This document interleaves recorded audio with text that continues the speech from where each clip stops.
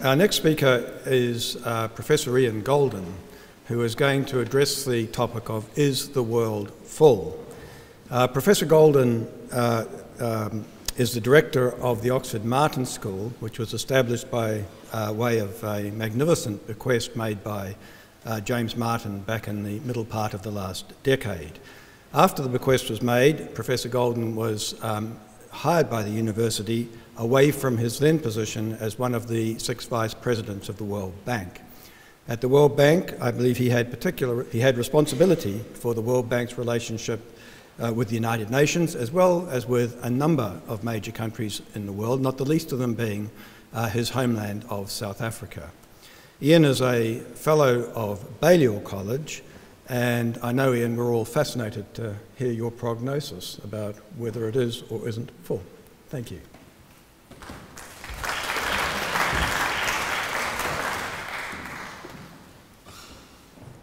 Thank you very much, Sir John. It's a great pleasure to be here and uh, to be able to talk to a group of students that were here as Rhodes Scholars and many of the alum and to think about this question of is the planet full? I, I do want to take this opportunity also uh, to thank Sir John not only for recruiting me uh, to what I think has been the most wonderful job I've ever had, uh, but also because he was absolutely instrumental in the creation of the Oxford Martin School um, in 2005. The Oxford Martin School is a group now of over 300 academics in Oxford working in interdisciplinary teams to address many of the greatest challenges of the 21st century. And it's this very diverse group of people that came together in a series of workshops and seminars to address this question. And the question of is the planet full is rather typical of many of the questions facing the planet, which is that it cannot be addressed by one particular discipline alone. It cannot be addressed from a silo uh, of any type, from demography or economics or nutrition, medicine, politics, uh, climate, or any other. It requires interdisciplinary thinking. And so we were very privileged to have some leading scholars across the school working on many of the dimensions of this. And so we ran a series of workshops uh, culminating uh, in the edited volume I uh, did, Is the Planet Full? which brings together 10 of the academic professors, directors of the different groups across the school to address this question. Now, what, what, became very rapidly apparent is that this is a very old question. Indeed, uh, there's historical evidence that it's a question that's been asked for at least 2,000 years. Indeed, uh, we have citations in the book from the second century where people are complaining when the world's population was about 150 million uh, that the planet was already too full. Uh, of course, it's something that was picked up aggressively by Darwin in the 18th century, sorry, by Malthus in the 18th century, uh, and we know the dimensions of that debate that is inevitable as population growth continues, that there will be immiseration. And this was picked up uh, by Darwin later. And we see it in a lot of literature as well, not least in Dickens, where there's this perpetual theme, often articulated by Scrooge and by others, about how pestilence and famine will keep populations down.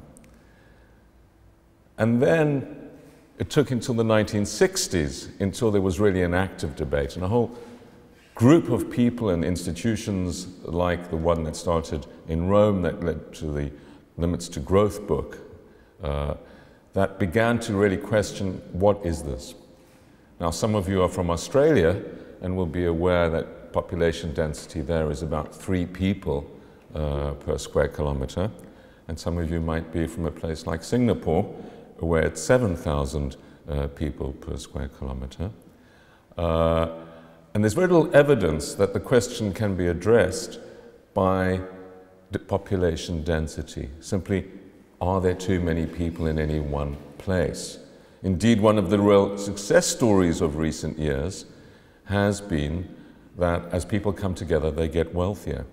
Indeed, if one does the econometrics, the correlations of population density and wealth creation, you see that there's a very strong correlation between as people come together, they get wealthier. They don't get wealthier because and then move to cities, they get wealthier because they're in cities.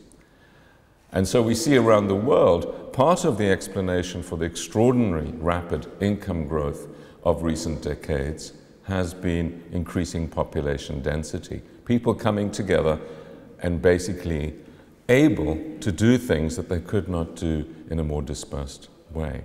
This is both about getting the things they need the health, the education, and the other types of resources to improve themselves, but also to getting the ideas they need. More rapid creative destruction happens in dense areas. There's a more rapid exchange of ideas. And, of course, one gets, as one's creating new ideas, others to work with. One can build teams. One can find the people you need, the skills you need, the inputs you need, the materials you need. And, of course, you can find the markets you need, the people to give things to, to sell things to, to share ideas with. And so we see up to population densities of about 10 million people, very rapid improvements in income, and then various diseconomies of scale start to play off. Pollution effects, congestion effects, you no longer get added benefits. Although increasing diversity, even within very large populations does lead to continued economic growth, and you only need to look to places like London to get a sense of that. That as London has become more diverse, it's become more vibrant. And this isn't a new story, this is one that is written over a 300 year history of London. It's also the case that big places aren't the most unhappy places, or population density is not associated with unhappiness. Indeed, there's a lot of evidence that some of the happiest people on earth are those living in megacities. Toronto, for example, has just won the award as the happiest city. Um, it's the most diverse, over 50% migrant, but it's also, of course, a very big city. And within the UK, we know that this is true of London. So, what is it that would let us to lead to thinking that the planet might be full? Well, it's increasing extremely rapidly, about another billion people over the past 20 years or so. It's going through its most rapid increase period. And there's some evidence that we're running out of things. There's also evidence that the effect of population growth has been increasingly destruction on the planet and our common resources. So it's not really about how many people there are, it's about what they do. It's how we live, our consumption patterns, the spillover effects of our success in many cases. If we have many billions of poor people living in Africa, the thing that we worry about there is dire poverty and famine. But even in that case, there's very little evidence that population growth and is associated with famine or disease. That is an idea, which was obviously popular with Malthus and Darwin and others, which has been discredited because there are so many counterfactual examples. And Amartya Sen, the brilliant economist and polymath who won the Nobel Prize in his book Poverty and Famine, amongst other people who have shown this, demonstrates that there's no relationship between poverty and famine. It's about political economy, it's about access, it's about price, it's about distribution, it's about many things, but it's not simply related to how poor people are. And this is true of health as well. There are many counterexamples around the world of extremely poor people living in reasonable health, if the society permits it. So, in terms of does poverty or does the number of people necessarily lead to immiseration, there's a big debate. There's also quite a lot of evidence that they don't, poor people don't destroy the planet, at least not as quickly as wealthier people do. The spillover effects of individual decisions are smaller the lower the levels of income. This is true up to about $3,000 per capita. But after that, as people transition from about $3,000, say £2,000 per capita, up to about $20,000 per capita. They go through a peak transformation period where every improvement in their incomes leads to greater and greater impact on others. And that's because they increase their consumption of food, energy, transport systems, infrastructure, and also other things which have spillover effects, like, for example, antibiotics. Now, it's rational for us all as individuals to take an antibiotic and to give it to our loved ones. But if 7 pe- billion people do that, they will be ineffective. And this is a very classic example of what economists call the tragedy of the commons. The difference between individual rationality and that of society, or between individual choice and collective outcomes. And it's this issue which is really at the heart, our book would argue, at, of the question of whether the planet is full. It's not how many people there are, it's are we able to manage ourselves? Are we able to manage, particularly, the unintended consequences of our success? Are we able to ensure that the choices we make are consistent not only with our own well being and progress, but of those of the rest of the global citizens? Or is, there, is this a zero sum game in some respect? Are there trade offs? Is it that if we succeed, necessarily we destroy the planet for others? And here, income does matter. If you take something, most risks apply principally and most aggressively to poor people. Most wealthy people can insulate themselves from risk, whether it's climate change, financial crises, or others. They suffer, certainly, but they don't die. There's one exception to this, of course, and that's pandemics. Pandemics kill kings and queens as they do poor people. And so when we look across what the implications of our actions are, there are certain things which will be highly differentiated in terms of the spillover effects. And climate change is certainly one of them. Food price instability is another. Pollution tends to be, and many other things. Antibiotic resistance and pandemics will affect us all equally. So we can think about this question as a question as to are we able to find new ways of improving wealth with less spillover effect? This tragedy of the commons is a very old problem for philosophers and economists and others. It happened here in Oxford when people shared our Port Meadow. And as the number of people that did that grew in number, and the number of goats and other animals that they were putting on the meadow increased, it a, became unsustainable. So, rules, regulations, elders that imposed time limits on how many cattle or goats could be on the fields, when, those sorts of rules and regulations were developed here in Oxford and around the world in villages and communities, as they were regarding fishing from rivers and all other use of common resources.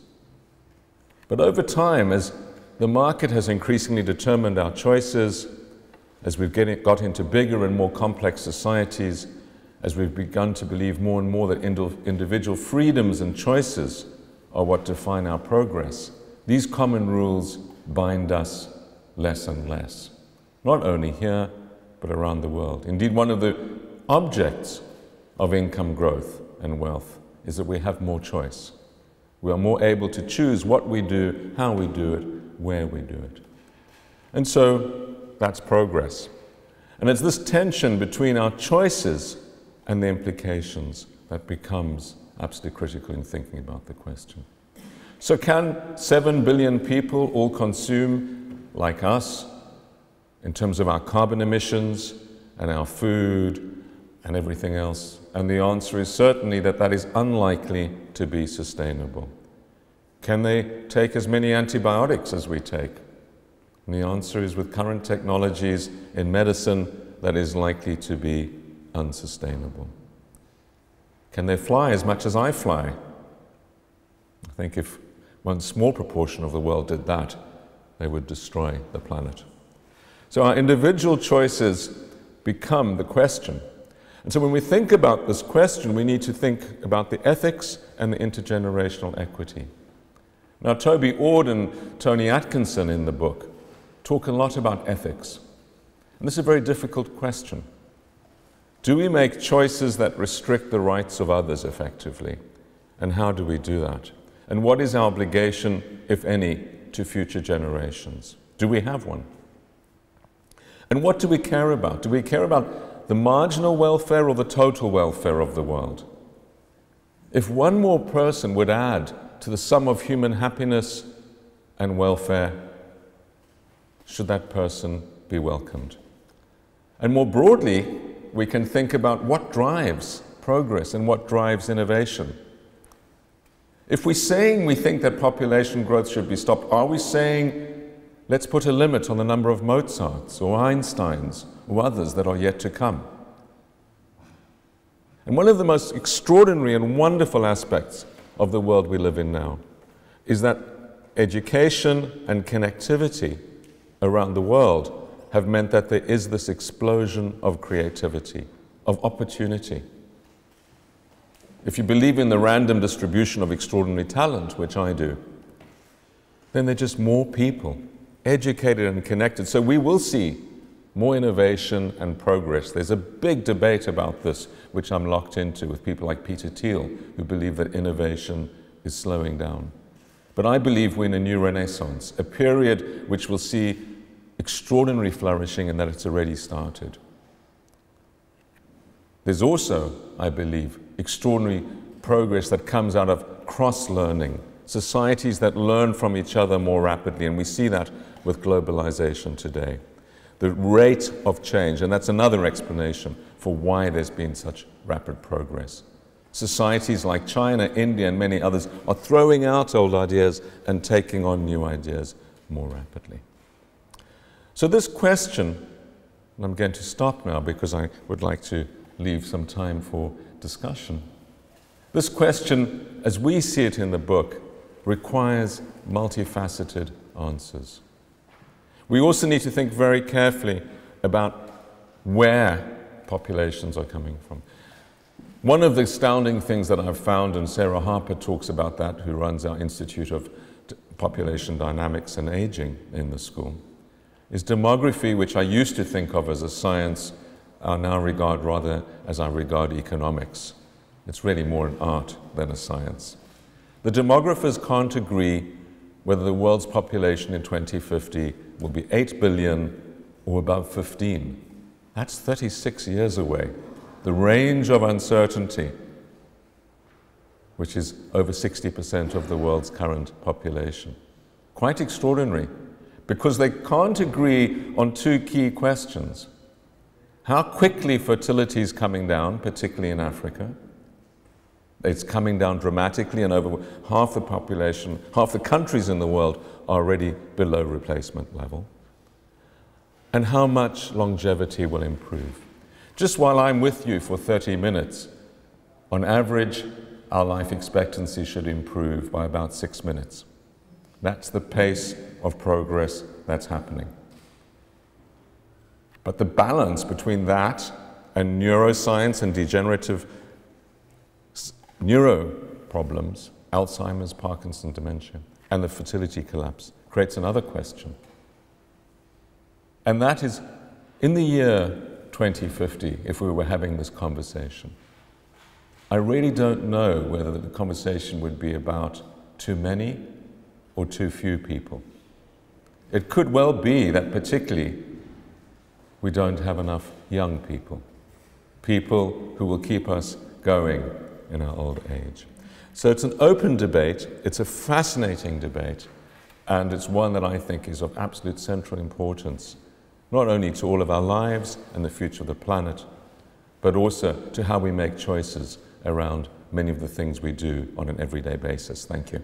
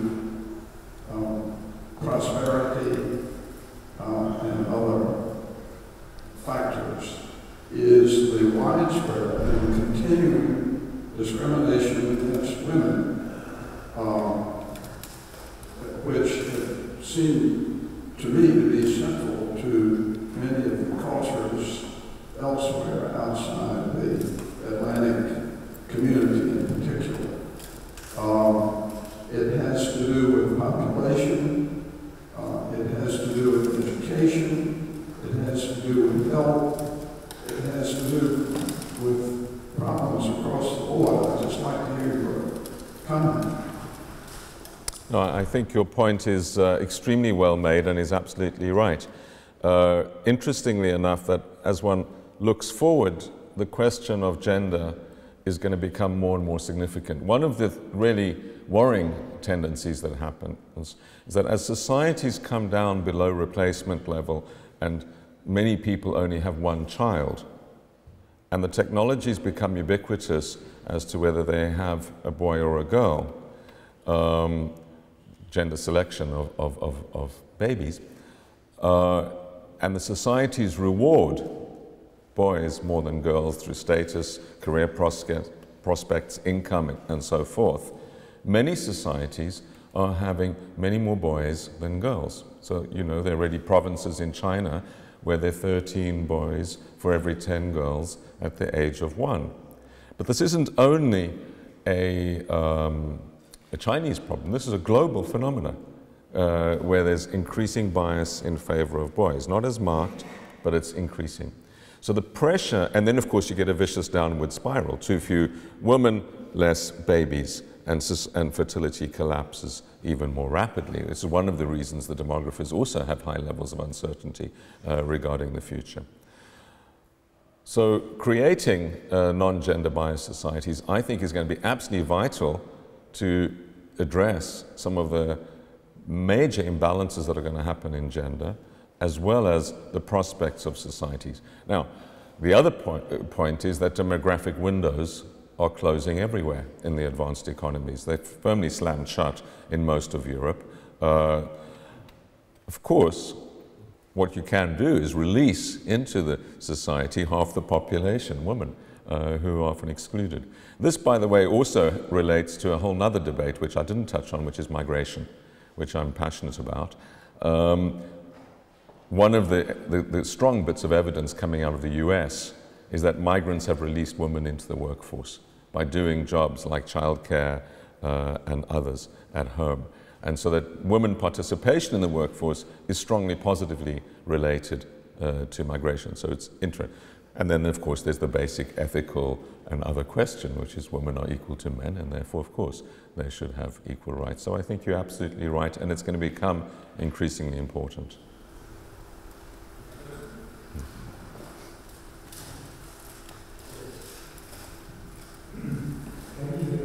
Yes. Uh. I want to raise a question about uh, sustainability and soil fertility.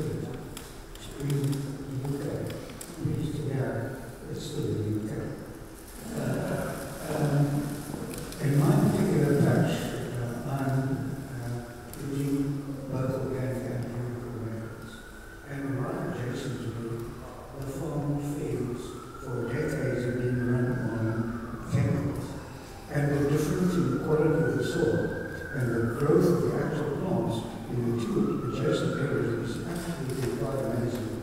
So one looks at and one thinks there's a possibility that soil fertility is going down and quality of foods will deteriorate as well. Comment? Well, this is way outside my uh, competence area. Um, within the Oxford Martin School, we have a number of groups that work on this. One is led by um, Professor Charles Godfray, who has a chapter in the book, who runs our Future of Food and Farming group. Uh, and another one, which I think is germane to this question, is that of Yadvinder Malhi, who runs our forest group, uh, who writes on the metabolism, the interaction of soil and, um, and food. And one of the things that, that, that, I learned from his chapter is talking about dung and the role of dung in uh, nutritional cycles uh, in soils. Um, I think there's, there's, there's a, an argument that comes out of our book, uh, which Charles Godfray uh, puts, about the need for sustainable intensification. In other words, we need to grow more on less land, but in a way that will not allow the land to degenerate over time. I'm just not an expert enough to know what the relative relationship is uh, between the organic and chemical um, fertilizers uh, in that. So I'm, I'm, sure you're the expert and know more about it than I do, so I'll pass on that. Before we take another question, will you just um, show? So oh, yeah, sure. You can know what it is and just explain, presumably so the shelves of Blackwell. Yes, so this is the edited volume that I'm talking to. Uh, it's Is the Planet Full? I'm the editor, Oxford University Press. It just came out in July. Uh, and it's got, as I mentioned, 10 chapters. And it's, I think, at Blackwell's uh, just down the road here. And also, I, I understand that Blackwell's has a, sh a, special shop somewhere for, I think, at the Maths Institute for the, the alumni event. And it'll also be in the OUP shop on the high street. Yeah, yeah, thank you. Okay, further questions? Please. really, it's, it's a big question and um, I've been going through it. Nevertheless, the, the key point you my particular interest as someone doing political science, international relations, is the importance of finding ways to manage the tragedy of the commons or um, to find ways of making rules that could contribute to this management. And I think that's a, an issue that we are grappling with, and I'm particularly interested in the field of health, is who, who is we at, at the global level, because um, at the national level we've come to the understanding that there's something like a public sector, there's a state, there, there are real mechanisms that, that um, produce legitimacy um, of the people who make the rules towards the people they're made for. At the global level, we don't have that, and a lot of people increasingly involved in making rules are not public institutions or groups, they are philanthropic organizations in my field health, the Gates Foundation has enormous influence. There are companies, there are other civil society groups. So I was just be interested in hearing your thoughts whether the idea of the public still makes sense or still important if you think about making rules at the global level or what other concepts might replace that. Yeah, I think you're absolutely right um, to highlight uh, the importance of rules, regulation, and question of who makes them. The, the, final chapter of the book, which I wrote, is called Governance Matters Most, um, and it is about governance. And one of the, the tensions that's arising is that while the system requires more and more coordination, not necessarily at the global level, in system, at a system level, um, the global system is totally unfit. We're stuck in a Westphalian system built for a completely different world at the national and the global level. Uh, and so we see it really incapable of addressing many of these commons uh, problems. And some of them, and I think the previous uh, talk was on cyber, are just orphans of the system. There's no global management of that, as there isn't for migration and many other things. And some are competent, like WHO, but are highly under-resourced in their capacity and highly over-politicized uh, in the way that they uh, achieve their mission. To, to think, help us think this one through, I convened a wonderful group of people into something called the Oxford Martin Commission for Future Generations, which Pascal Lamy, the outgoing head of the World Trade Organization, chaired, and people like Michelle Bachelet and Amartya Sen and many others uh, were part of. And we produced a report last year called Now for the Long Term, um, which is on our website. It's had 1.2 million uh, downloads, which is pretty good for a, an academic sort of report uh, from 171 countries. So there's quite a lot of interest that it's touched. And we try and think of new solutions to manage these global, global problems, which aren't, you know, it, it, I got all these people, they're not representative of the next generation, but they're very representative of very experienced people that have tried to make the system work. Uh, Trichet, the head of the European Central Bank, was another one, of many others. So we don't call for world parliament and peace, um, as, as attractive as a proposition as that might sound. We just think about new ways of doing things, and we come up with this idea of basically coalitions or creative coalitions, which can be business, civil society, some countries that are prepared to move, and we see that in many, many areas. We see it on oceans beginning, we see it with cities coming together on climate change, we see it in new ways about how different actors can actually move these things forward. And you don't need everyone to be there. And some of these things are very simple. For example, on antibiotics, we just need to stop using them in animals. Well over 50% of antibiotic use. And we need to insist that over the counter sales stop around the world. They have to go with medical prescriptions. So some things don't require you know, everyone to act. It doesn't really matter what Rwanda does on antibiotics, quite frankly, but it really does matter what the US and China do. Um, and so the idea that you get the, the actors that are really going to affect the outcome to be part of an agreement. Uh, and I think that, and that can indeed, and that I think defines who the we is. It's we that can shape the outcome. Yep. Hope so. Great. Thanks very much.